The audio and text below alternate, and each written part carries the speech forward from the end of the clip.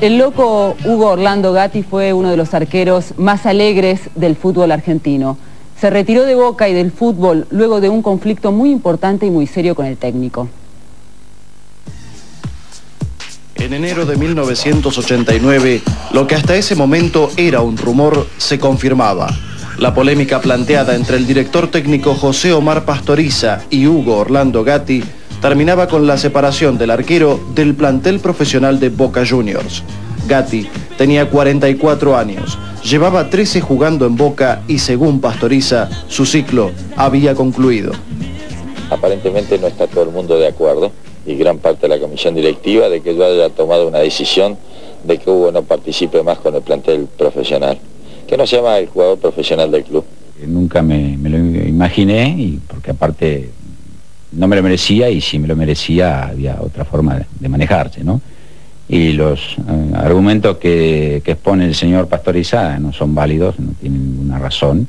Por eso mismo él no dio la cara y no, supo explicarme eso. Eh, entiendo de que los argumentos que, que son los reales, el tiempo será testigo y van a salir y van a saltar a la luz. Lo mío es irreversible, si realmente la comisión directiva considera de que esto no es así, bueno, con mucho gusto yo me retiro del club. Este, esta determinación la tomé porque me pareció adecuada, me pareció el momento oportuno.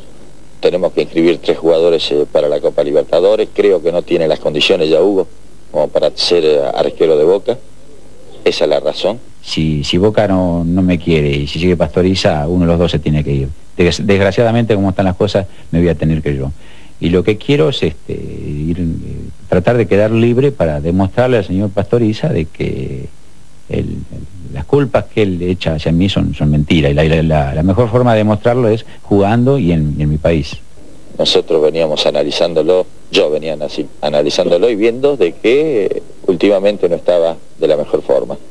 No llegabas a pelotas que uno considera que tiene que llegar cualquier arquero nadie le va a quitar todo lo que hizo Hugo por, por Boca y por el fútbol.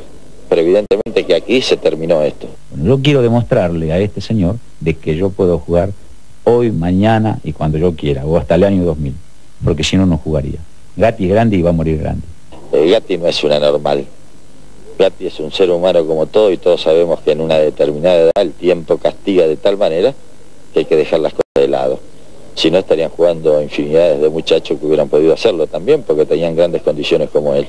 Al margen de, mi, gran fuerza espiritual, en la calle no tengo palabras de, agradecimiento, porque no solo es el hincha de Boca, es el hincha de, el hincha de todos los clubes de fútbol argentino que dicen, se tiene que ir, vos tenés que seguir, vos sos la alegría, no podés irte, seguir luchando. Y bueno, todas esas cosas te duelen, porque duelen que sea así, que se haga, un poco todo esto por una palabra de, un personaje que, no sé si lo pensó o qué lo decidió. ¿no? Si este señor hubiese sido Ratti, Marzolini, una gloria de boca, bueno, vaya y pase, una gloria de boca.